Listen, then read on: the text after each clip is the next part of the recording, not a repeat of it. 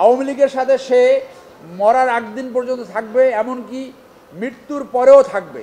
এই কথা বলার পরেই কিন্তু এই ব্যাংক লুটপাটের সুযোগ পেয়েছে এবং পতনের চার দিন আগে এই এক ধরনের এই ব্যাংক লুট, সেই লুটটা সে করেছে। বৈধভাবে সে লোন পেতে পারে আটশো তিন কোটি টাকা, কিন্তু সেইখানে সে লোন নিয়েছে প্রায় চার হাজার কোটি টাকা। গ্রুপের মালিক মিস্টার শাহ আলম উনিশে জুলাই দু হাজার চব্বিশ তারিখে পতিত সরকার শেখ হাসিনার সাথে একটা বিজনেস মিটিংয়ে বলেছিলেন। আন্দোলনকারীদেরকে সন্ত্রাসী বলেছিলেন এবং যে কোনো মূল্যে তাদেরকে দমন করার প্রত্যয় ব্যক্ত করেছিলেন। তিনি আরও বলেছিলেন যে, পতিত সরকারের সাথে তিনি আজীবন থাকবেন, এমনকি মৃত্যুর পরেও তাদের সাথে থাকবেন।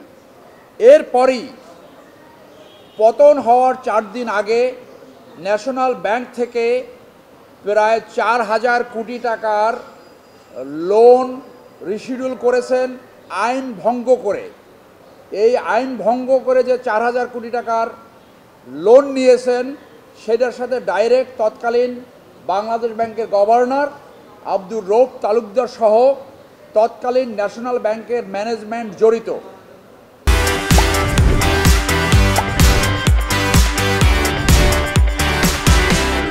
আমি বাদী হয়ে পাবলিক ইন্টারেস্ট লিটিগেশন হিসাবে একটা রিট করেছি এবং সেইখানে রুল জারি হয়েছে এবং তদন্তের নির্দেশ দিয়েছে।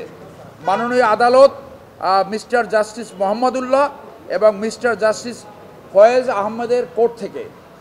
এছাড়াও বসুন্ধরা গ্রুপ এক হাজার কোটি টাকা মানি লন্ডারিং করে, বিলেতের বিভিন্ন পশ এলাকায় ছাব্বিশটি বাড়ি ক্রয় করেছে, যেটা নিয়ে সিআইডি একটি তদন্ত ইতিমধ্যে লঞ্চ করেছে। আমরা কোর্টে সেইটার সুপারভিশন চেয়েছিলাম। কোর্ট আমাদেরকে স্পেসিফিক একটা আবেদন করতে বলছে। আমরা সেই আবেদন করলে আপনার সেইটাও কোর্টের সুপারভিশনে আসবে বলে আমরা আশা করি। মাননীয় কোর্ট সন্তুষ্ট হয়ে রুল এবং তদন্তের নির্দেশ দিয়েছে।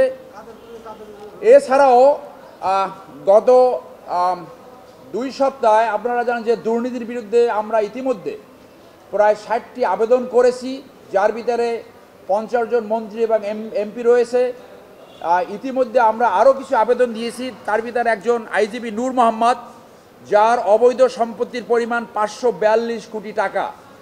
তার বিরুদ্ধে আবেদন করেছে additional IGP mister Sajjad Ali.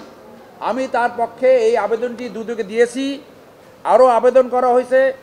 খুলনার এমপি, খুলনা চারের এমপি সালাম মুর্শিদি, যার দুর্নীতির কোনো সীমা পরিসীমা নাই। বিএম কবিরুল ইসলাম নরাইল যার সম্পত্তির পরিমাণ বাড়ছে একশো পঞ্চাশ পার্সেন্ট এবং পিরিসপুরের এমপি এ কে এম আউয়াল, যে মাইনরিটি হিন্দু বৌদ্ধের জমি দখল করেছে এবং মিস্টার পঁচিশ পার্সেন্ট হিসেবে পিরিসপুরে পরিচিত, তার দুর্নীতির কোনো সীমা পরিসীমা নাই। এই আবেদনগুলো ইতিমধ্যে আমরা দুর্নীতি দমনে দিয়েছি। তাদের অবৈধ সম্পত্তির অনুসন্ধানের জন্য।